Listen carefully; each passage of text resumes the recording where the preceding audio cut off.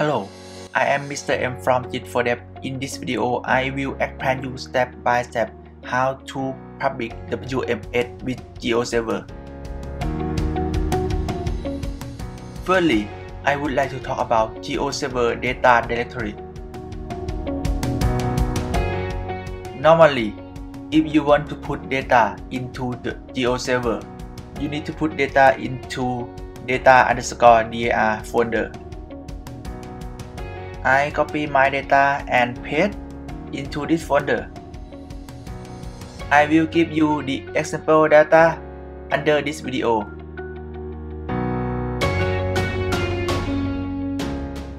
Secondly, I will talk about GeoServer workspace. At GeoServer, I type username, admin, and password GeoServer, and then press enter. In this page, you have permission to create a new workspace. Click Workspace at the left panel. In this page, you will see all of workspace. Click New Workspace. In this example, I typing name GIS for dev and namespace URI GIS for dev and then submit for create a new workspace. Thirdly, create a store. Click Store on the left panel. Click Add New Store. In this example, I will public WMS from shapefile. Click Shapefile. Change workspace from cite to GIS for dev. Type world into data source name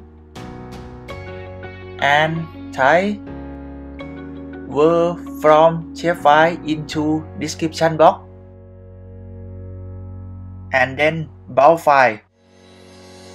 My file is located in data dar slash data clickwo.ssp choose dbf chassis utf 8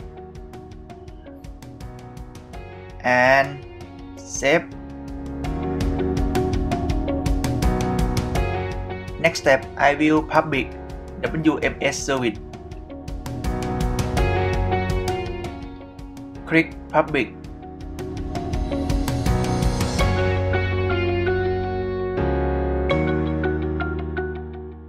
You can type abstract for this layer, whatever you want.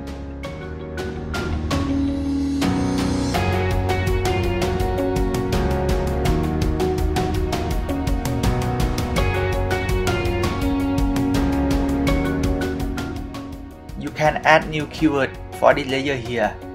For this example, I don't add any new keyword.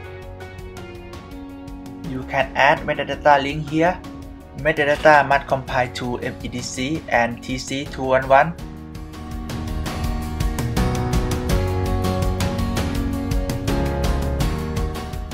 Now, you need to set bounding box of this layer. Click Compute Form Data. GeoServer will compute bounding box from your data automatically.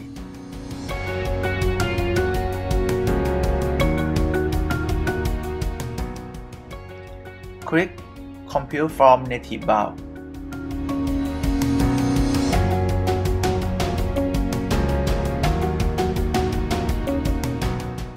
Scroll down.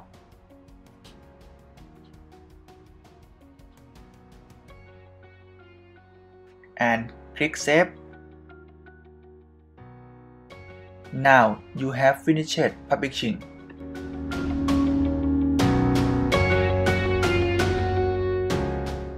I will try to open WMS layer which you published. Click Layer Preview on the left panel. And click on Open Layer. This page will show you the layer which you published.